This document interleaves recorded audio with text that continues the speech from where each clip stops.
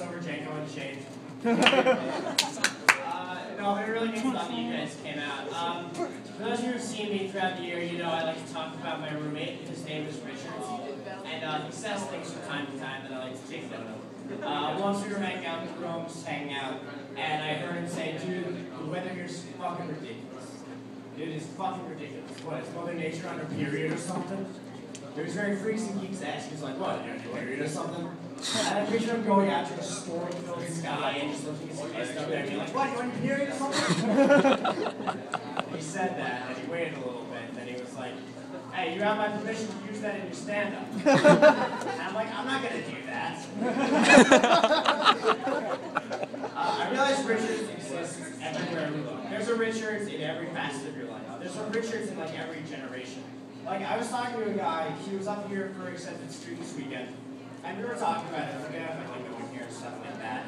And uh, at one point, a flock of hot girls just walked by us, and he saw them, and they just came up to me and was like, "Yo, how's the pussy here?" and I was like, "You want to know what the vaginas are like?" I they're generally healthy. if it concerns you, they're generally attached to a woman. that concerns you. How's the pussy? What kind of person you have to be to ask that question? Like I wondered, I wondered if that would be like a part of the Princeton Review someday. You're just looking up stuff about college, like it's college. Uh, uh, student population is around 7,000. Uh, there are three dining halls on campus. Housing is, is um, offered for all four years. And also, the pussy is tight as hell. In the kick college, if you think the soil is damp, y'all better check out the pussy. Ithaca is gorgeous, more like Ithaca is stocked to the brim with pussy. I give the pussy at Ithaca two thumbs. Uh. Time Rashawn. Uh,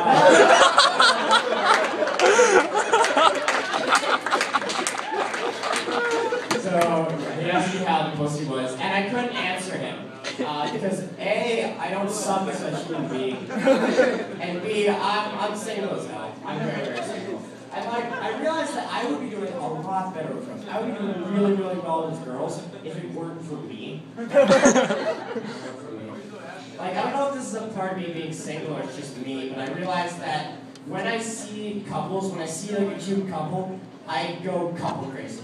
Even for like people going like baby crazy, really wanting a baby, I go couple crazy. Like I will see a couple, I will see it and I'll just be like, oh my god. Oh, look at them, they're so cute.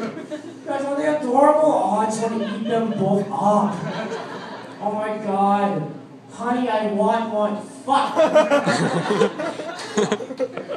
um, but yeah, um, before I leave, I just want to share a couple thoughts on the subject of uh, 90s kids. We got 90s kids out there? Yeah. I've been thinking about 90s kids recently and about how they should stop. They should just stop. I've never seen a group of people celebrate with such ferocity the fact that they were born in a decade. It's, it's fucking ridiculous. Like, like, we're 90s kids, we got to watch 90s Nickelodeon. Really? Kids in the revolution got to watch America. seriously, they got to see a country born. They got to see like government tape shade. And 90s kids are circle jerking each other because they watched Bill Nye the Science Guy. We're 90s kids. We're gonna do a bunch of cocaine and then be alright. No, you're not. Too much cocaine is bad for everyone. Like 90s kids, by the time you left the 90s, if you were born in the 90s, you were either 10 years old or younger. What the fuck life experiences did you gather in that time? Like some people had sex in the 90s. Some people went to college in the 90s, and we call it our time. Like by the time I left the 90s, I just thought that sex was naked people kissing. That's what I thought it was. And I'm not wonderful. I'm not, I'm not wonderful now. I am going to leave you guys.